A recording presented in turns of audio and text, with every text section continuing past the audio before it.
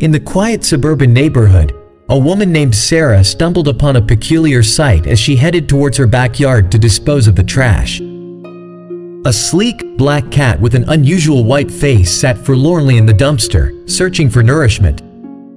Intrigued, Sarah approached cautiously, and to her surprise, the feline didn't flee.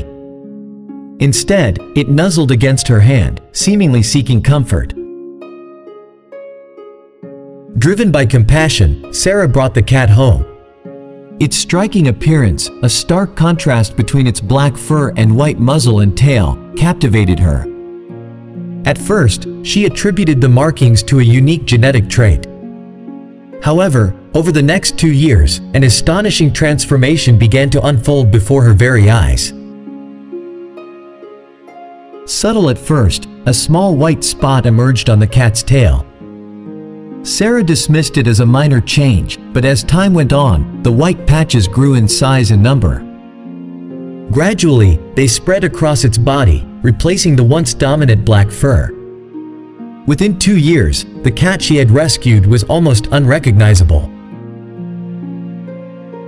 Where once there had been a black cat with white markings, there now existed a light-colored feline with scattered black spots. Confusion and bewilderment filled Sarah's mind, she consulted with veterinarians, who diagnosed the cat with vitiligo, a non-contagious condition that disrupts the production of pigment in the hair. While the ailment had no impact on the cat's health, it had left an undeniable mark on its appearance.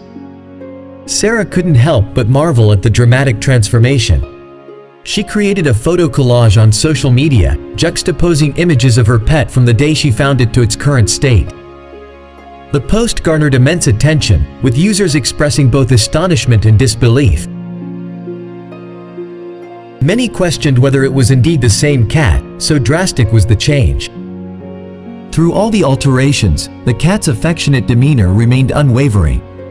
It continued to fill Sarah's life with joy and companionship, reminding her that true beauty lies beneath the surface. And as Sarah gazed at the old photographs of her rescued companion, she couldn't help but smile.